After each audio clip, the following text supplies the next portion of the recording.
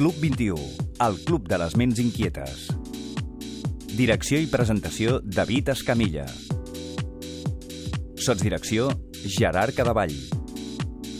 De 9 a 10 de la nit a Ràdio 4. Com sabeu, Infojobs és el portal líder online per trobar feina arreu d'Espanya, qualsevol tipus de feina, qualsevol tipus de tasca en el món professional.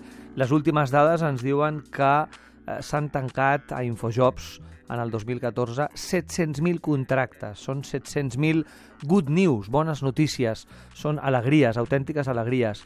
I cal dir també que eh, cada dia es publiquen al, al portal d'Infojobs es publiquen unes 5.000 ofertes de treball. Per tant, activitat important, activitat molt alta des d'Infojobs. Us convidem a visitar el blog del Jaume Gurt, que és el director general d'aquesta empresa. El seu blog és Un CEO sin corbata. CEO és CEO, eh? Un CEO sin corbata. Jaume Gurt, benvingut, bon vespre. Bon vespre. Escolta, parlem d'una paraula importantíssima, una paraula que de vegades alguns poden pensar que està només vinculada al món privat, al món del oci, al món de la nostra vida quotidiana, de la nostra vida afectiva, que és el gaudir, gaudir, el, el disfrutar, el, el passar-s'ho bé, l'estar a gust.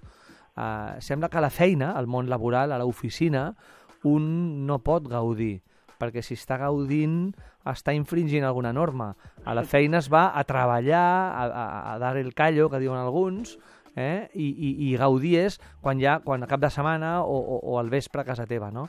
No, no, no. Es tracta de gaudir a dins de l'oficina, gaudir a la feina. Bueno, la feina i la vida, en el fons, formen part de lo mateix. No? Mm -hmm. I, per tant, si podem gaudir, ens agrada gaudir dintre de la nostra vida personal i privada, doncs per què no fer-ho a la feina? Clar.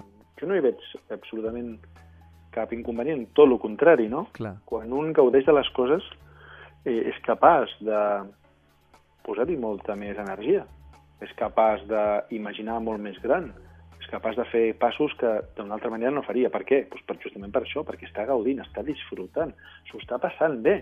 No? Llavors, eh, baixem la serietat, deixem-la al costat, eh? portem la, la sonrisa, la sonrisa obre portes, sí, sí, sí. portem el, el, el, el, el sentir eh, que som capaços de, no? de fer les coses des d'un altre lloc i tot el més flueix i funciona d'una forma totalment diferent. No?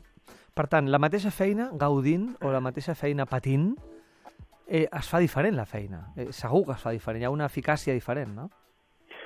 L'eficàcia no la tenim mesurada, però per mi és totalment evident, no? Clar. Quan estem fent una feina que no ens agrada, quan jo vaig al dentista i no m'agrada, Ah. em fa etern, no? Mentre que quan vaig al cine i m'ho estic passant bé amb la pel·lícula, se'm fa curt, no? Llavors, Sí. això passa el mateix amb la feina, no? Quan realment disfrutem amb el que fem, eh, les coses passen volant. La, tot ens sembla fantàstic, no? I des d'allà tot ens sembla possible. Llavors, potenciem-ho, no? Ara arriba un moment, està arribant un moment a la social en els propers anys importants, no? Sí. Gairebé 7 milions de persones en els següents Sí. eh, 15 anys, 10 anys, perdona, eh, es jubilaran, no? Mm. Eh, ostres, eh, aquí se'ns obren dos, dos portes. La primera, gent que durant molts anys ha estat treballant i comencen una vida nova. Que la gaudeixin, és la clau de la vida. Si tu la gaudeixes tens una vida llarga.